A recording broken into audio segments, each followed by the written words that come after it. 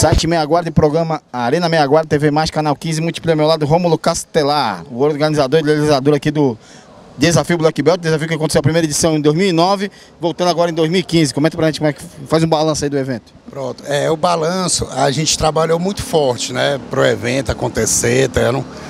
fizemos a melhor estrutura possível que a gente podia fazer, tá, dentro da nossa condição, tá, não?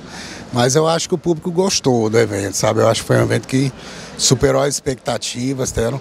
Agora a gente, a gente tinha só que assim, realmente não foi de público, realmente deixou a desejar um pouquinho por causa, acho que também do problema financeiro que as pessoas estão passando, né? Mas realmente o trabalho principal da gente é querer desenvolver o esporte, querer fazer um trabalho que, que, que cria, que tem alguma coisa a acrescentar né, dentro, dentro do jiu-jitsu. Né?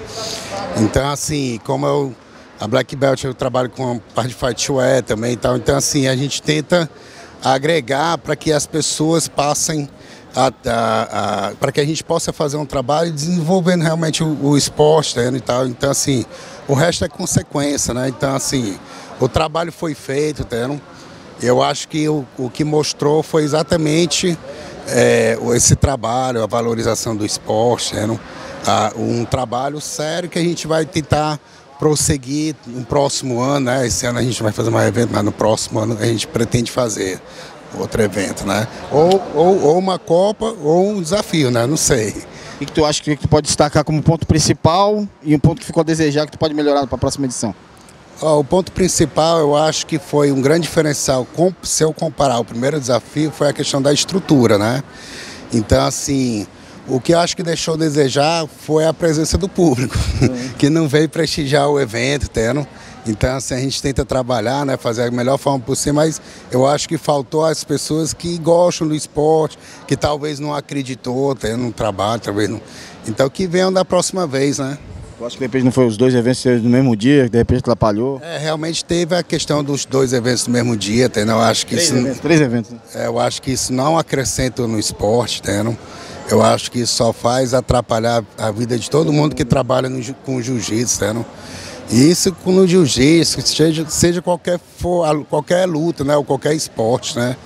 A gente não pode dividir, a gente tem que somar, tá certo? Então agradece aí quem, quem, quem te apoiou no evento. Pronto, eu, eu agradeço a mídia, né? Do site Me Aguardo, Arena Me Aguarda, tem. E o, outros sites também, do BJJ, é, do A Hora do Combate. Né? Então, assim, acho que todo esse trabalho de vocês da mídia é importante para o esporte, tá certo? Então, assim, agradeço a, ao público que veio, tem prestigiar, que acho que realmente eu acho que eles devem ter gostado né, do evento. Eu acredito que sim. Agradeço aos atletas que vieram lutar, tendo.